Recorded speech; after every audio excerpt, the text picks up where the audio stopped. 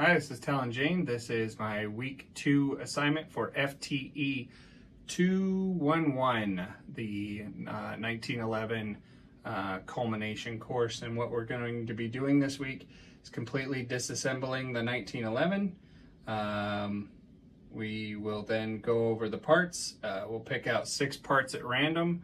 We'll describe what those parts are, and then we will reassemble, and then um, we'll demonstrate all eight steps of the cycle of operations and articulate what we're expecting to see in those steps. And that's assuming we can get it all back together. So stay tuned. We'll get right to the disassembly and uh, start going over the parts.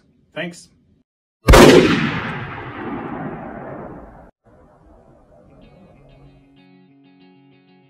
For the six parts of our random um, parts of the 1911 that we have to describe. Uh, my first random number is number 32, which is the recoil spring. The recoil spring is part of the recoil spring assembly. It plays a part in the feeding and chambering uh, and locking portions of the cycle of operations. Basically, as the slide travels rearward, the recoil spring will get compressed and then um, as the recoil spring pushes the slide back forward, the slide will engage the rim of the cartridge, uh, which will feed and chamber the cartridge and lock the breech. The second uh, random number is number 34, which is the recoil spring plug, which is this piece right here.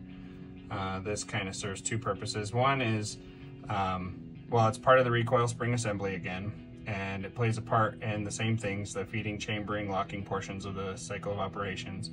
Uh, but in addition to that, it captures the recoil spring and holds it in place from shooting out the front of the firearm.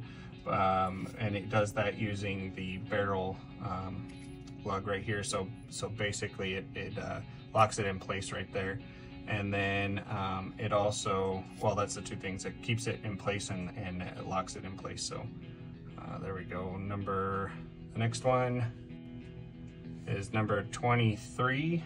That is the main spring cap. So this is part of the main spring assembly, which is pretty much all of this stuff right here. The main spring cap uh, is part of the firing and cocking portions of the cycle of operations. And basically, as the hammer is cocked, um, you're gonna see the hammer strut, which is this piece right here that's connected to that with this little pin right here. This hammer strut uh, forces the main spring down through using the cap, and the cap basically um, kind of provides the surface area for that spring so that it can be compressed, and that's what uh, provides the tension uh, for the hammer. So uh, there's that. Next one is the uh, 33. That's another piece of the recoil or spring assembly. Uh, so we, now we have all three pieces of the recoil spring assembly. This is the guide rod or uh, the recoil spring guide, whichever one you want to call it. Again, the recoil uh, assembly plays parts in the feeding, chambering, and locking portions of the cycle of operations. Um, it basically, where this um, captured it in the front, this captures it in the back and keeps it straight. So um, that's it for number 33. Number 29 is the plunger spring, which is this little spring right here, which is connected to these two little plungers. Um, this is part of the safety systems of the 1911 and um, it's not necessarily part of the cycle of operations. It aids in the effort to prevent you from cycling through the cycle of operations. Uh, so basically on the 1911, there's two safeties. There's the thumb safety, um, which goes up here, and then there's the grip safety, which goes back here. Um, if it was a Series 80, it would have an additional um, safety that is part of the firing pin, but this is a Series 70, so it doesn't have that. Um, you can tell because of that flat spot right there.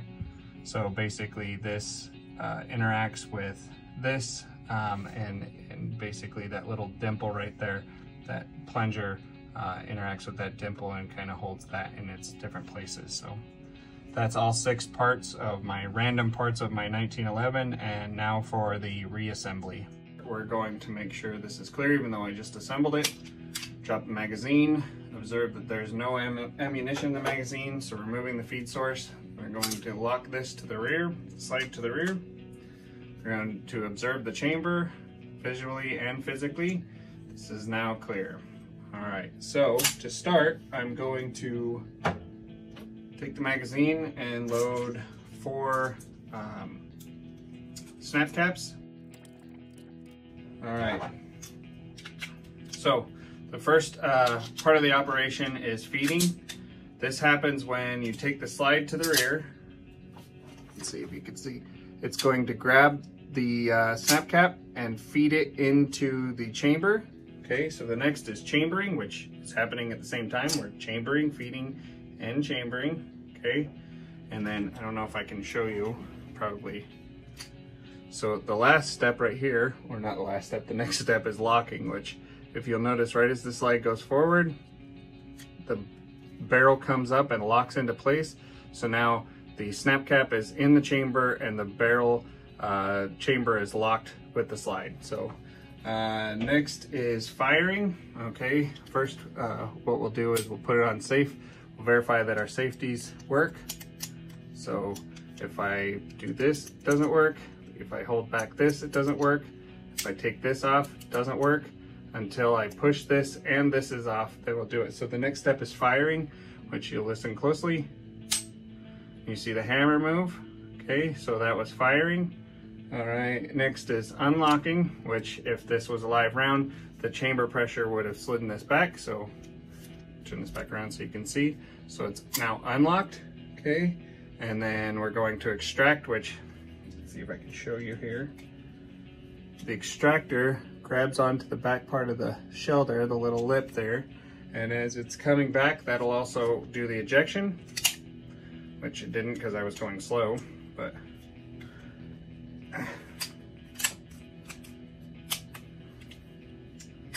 There. So we'll do that again so you can see. All right, so it goes forward, fire, and then I'll go a little faster this time. All right, so it's ejected, and that also cocks the hammer if you didn't see. So as the slide slid backwards, it recocks the hammer, uh, which is the cocking action. So we've got feeding, chambering, locking, firing, unlocking, extracting, ejecting, and cocking. So we've gone through them all. And that completes my week two assignment for FTE 211. Thanks a lot for watching.